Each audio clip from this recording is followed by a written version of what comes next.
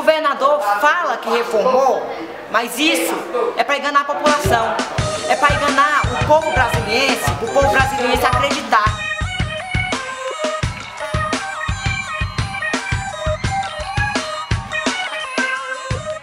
Trabalhando para ver uma educação melhor.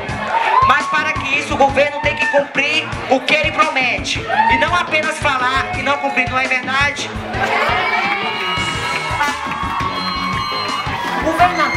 Falou que reformou 300 escolas. E hoje a escola sede 1 do Guará está nessa situação, com muros quebrados, com a quadra não coberta, com as paredes, muitas vezes paredes sem pintar do lado de fora e os muros do lado de fora quebrados.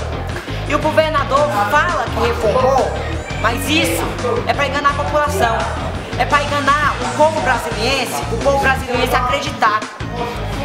Porque quer colocar coisa na cabeça de vocês, para vocês apoiar ele e não os professores.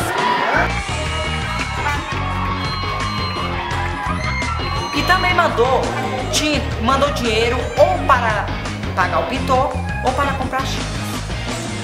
A direção teve que escolher um ou outro. E a direção escolheu comprar tinta. E quem pintou a nossa escola hoje foi o nosso, a nossa direção, que trabalhou, que sempre luta por uma escola melhor. E o governador não cumpre o que diz.